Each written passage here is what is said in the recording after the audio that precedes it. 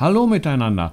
Heute geht es in meinem Video um Glasfaserkabel, die gerade in unserem Dorf verlegt werden. Naja, eigentlich geht es nicht um Glasfaser, sondern darum, ob das und vieles andere wirklich sein muss, damit wir glücklich sind. Ich bin Klaus und ich freue mich, dass du dich eingeschaltet hast. Ja, bei uns im Dorf ist gerade richtig was los. Glasfaserkabel werden überall verlegt gerade auch in unserer Straße. Gestern mussten wir unser Auto in Entfernung vom Wohnhaus parken. Überall fahren kleine Bagger durch die Gegend mit gelbem Blinklicht. Zeitweise ist es ordentlich laut und staubig. Am Straßenrand wird der Asphalt geschnitten, dann ein Kanal gegraben, das neue Kabel eingelegt, der Kanal wieder zugeschüttet und schließlich mit einem Stampfer verdichtet. Der Asphalt kommt offenbar später drauf. Bei all den Arbeiten wird natürlich viel CO2 emittiert. Ja, wenn ich mir vorstelle, dass in ganz Deutschland mit großem Aufwand Straßen aufgerissen und Kabel verlegt werden, dann wird mir ehrlich gesagt ganz übel. Manchmal passiert das in derselben Straße sogar mehrmals, dass die Straße aufgerissen wird. Denn wenn der erste Glasfaseranbieter seine Arbeit vollendet hat, dann kommen möglicherweise der zweite und später noch der dritte, um ihr eigenes Kabel an derselben Stelle zu verlegen. Und jedes Mal wird die Straße erneut aufgerissen. Da frage ich mich, ob das wirklich sein muss. Ich sitze ja nicht selten am Internet und hatte nur selten Probleme mit der Geschwindigkeit. Und wenn es einmal der Fall ist, kann man doch wohl ein paar Sekunden warten, oder? Natürlich sollte dort, wo es noch kein schnelles Internet gibt, etwas dagegen getan werden. Aber Glasfaser überall? Um vielleicht am Ende ein paar Sekunden pro Woche zu sparen? Mir fiel dazu jedenfalls ein Bibelwort ein, das auf den ersten Blick gar nichts mit Glasfaser zu tun hat. In der christlichen Gemeinde von Korinth gab es Menschen, die die Auferstehung der Toten leugneten. Daraufhin schrieb der Apostel Paulus an die von ihm immerhin gegründete Gemeinde, wenn es keine Auferstehung der Toten gibt, dann gilt Folgendes, Zitat, Lasst uns essen und trinken, denn morgen sterben wir. Bekannter und frontierter ist Martin Luthers Übersetzung, Lasst uns essen und trinken, denn morgen sind wir tot. Paulus will damit sagen, wenn es stimmt, dass die Toten nicht auferstehen, dann muss man das Leben im Diesseits voll auskosten. Und dann muss man eben sagen, lasst uns doch essen und trinken, denn morgen sind wir tot. Das ist ein Wort, mit dem Paulus Jesaja 22, Vers 13 zitiert. Dort steht dieser Satz aber in einem anderen Zusammenhang, nämlich im folgenden. Israel kehrt auch in unheilvoller Zeit nicht zum guten Weg Gottes zurück, indem es sich, indem es über sich selbst erschrickt, seine Schuld betrauert und die kommende Todesgefahr wahrnimmt, sondern im Gegenteil. Israel gibt sich ausgelassenen Feiern und überschwänglicher Freude hin. Man kann das so kommentieren, wie ich es einmal gelesen habe. Der Gedanke, das Leben angesichts des sicher kommenden Todes auszukosten, ist ein allgemein menschlicher. So wird von dem griechischen Denker Alkaios der Vers überliefert Nicht soll den Sinn man hängen an Not und Leid? Was fruchtet es, ob du dich auch sorgst und härmst? Das beste Mittel, Freund, bleibt immer, Wein sich zu holen und froh zu zechen. So schreibt Otto Kaiser in seinem Kommentar zu dieser äh, Jesaja-Stelle. Mit anderen Worten, um das drohende Unheil nicht wahrnehmen zu müssen, gibt man sich den Genüssen des Lebens umso intensiver hin. Lasst uns heute noch das Leben in vollem in vollen Zügen genießen, denn morgen schon werden wir tot sein.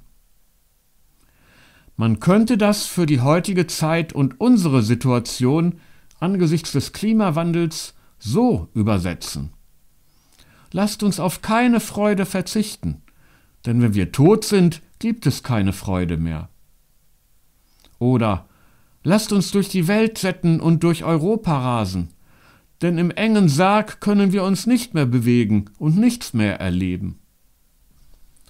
Lasst uns ohne Ende produzieren und konsumieren, um die Fülle des Lebens zu genießen, denn nach dem Tod gibt es nur noch leblose Leere. Lasst uns alles dafür tun, dass unsere Wirtschaft in immer neue Höhen wächst, damit unser materieller Wohlstand erhalten bleibt. Denn nach dem Tod zerfällt doch alle Materie. Lasst uns jede neue Technik nutzen, die unsere Möglichkeiten erweitert. Denn wenn wir tot sind, haben wir gar keine Möglichkeiten mehr. Lasst uns nur edle Güter kaufen, um einen angesehenen Status unter den Lebenden zu haben, denn die Toten haben keinen Status. Lasst uns so oft wie möglich neue Kleidung und eine neue Brille kaufen, und lasst uns unser Outfit optimieren, um die Blicke der anderen auf uns zu ziehen. Denn wenn wir tot sind, wird keiner mehr uns sehen und an uns denken. Der christliche Glaube aller hat allerdings in dieser Sache eine ganz andere Vorstellung. Die Toten sind für Gott weder aus den Augen noch aus dem Sinn. Weil er sie schon zu Lebzeiten liebevoll ansah, wird er sie auch im Tod nicht einfach vergessen. Gott wird vielmehr die Toten sehen, und die Toten werden Gott sehen. Mit dem Tod ist nicht alles aus, sondern beginnt für die Glaubenden die Fülle des Lebens und der Freude. Darum sind die Glaubenden befreit davon, schon in diesem Leben verzweifelt eine Lebensfülle anzustreben, die sie hier niemals erreichen werden. Sie sind frei, sich einzuschränken, zurückzunehmen und nicht mehr alle ihre Wünsche ohne Rücksicht auf die zerstörerischen Folgen zu verwirklichen. Natürlich kann man viele Gründe dafür finden, sich nicht einzuschränken. Der Staat und die Politik sind für Umweltschutz verantwortlich, nicht ich. Wir können sowieso nichts erreichen, wenn die anderen nicht mitmachen. Der Klimawandel kommt sowieso, daran können wir nichts ändern. Ich lasse mir meinen Lebensstil nicht von Moralisten und Gutmenschen schlecht reden. Oder ich tue doch schon so viel für den Klimaschutz. Dann kann ich mir auch mal etwas leisten. Auch hier hat der christliche Glaube eine andere Sicht. Denn den guten Wegweisungen Gottes folgt man nicht mit halber Kraft, sondern mit all seinen Möglichkeiten, und zwar in Ehrfurcht vor dem Schöpfer und Eigentümer der Erde und in Liebe zu ihm, aber auch im eigenen Interesse. Ich lese Deuteronomium 10. Was fordert der Herr, dein Gott, von dir, als dass du den Herrn, deinen Gott, fürchtest, indem du in allen seinen Wegen wandelst, ihn liebst und dem Herrn, deinem Gott, dienst, von ganzem Herzen und von ganzer Seele, indem du die Gebote und Satzungen des Herrn hältst, auf dass es dir wohl ergehe, Siehe, dem Herrn deinem Gott gehört der Himmel und aller Himmelhimmel und die Erde und alles, was darauf ist. Nun wird man schnell als Spielverderber und Spaßbremse verstanden, wenn man dazu aufruft, sich einzuschränken. Doch ich denke, das Gegenteil ist der Fall. Wir täten das im eigenen Interesse. Wir hätten nicht weniger, sondern mehr Lebensfreude, wenn wir uns einschränken würden. Es wäre weniger laut, weniger hektisch, die Nächte weniger hell. Wir hätten mehr Ruhe und weniger Herzinfarkte. Wir würden bessere Luft atmen. Wir wären gesünder und fröhlicher. Wir hätten weniger Angst voreinander und mehr Zeit füreinander. Unsere Städte hätten mehr schöne Orte statt Beton und Asphalt. Orte, an denen man sich gerne trifft.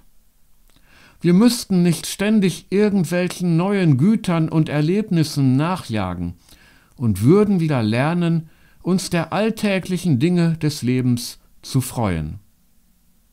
Wir würden dann auch wieder einmal zum klaren Nachthimmel blicken, weil dort Millionen von Sternen und die Milchstraße zu sehen sind.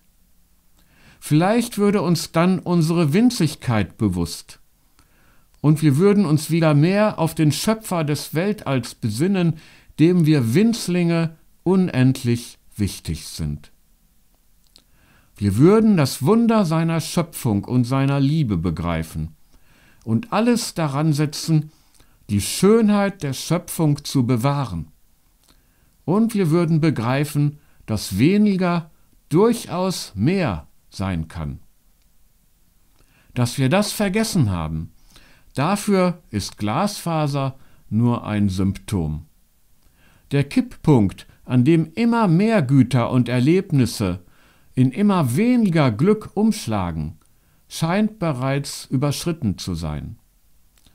Darum wären wir in einer schöpfungsschönen Welt glücklicher als in einer mit immer mehr fragwürdigen Erlebnissen und Gütern angefüllten Welt. Soweit meine Anregungen. Denk weiter drüber nach, und zwar kritisch.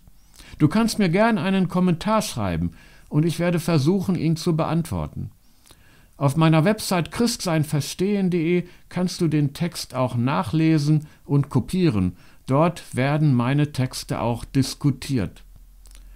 Wenn du meine Videos in Zukunft nicht verpassen willst, dann abonniere meinen Kanal. Der Button dazu ist unten rechts auf deinem Bildschirm. Ich freue mich, wenn du demnächst wieder dabei bist und ich wünsche dir bis dahin, sei trotz allem hoffnungsvoll und gesegnet.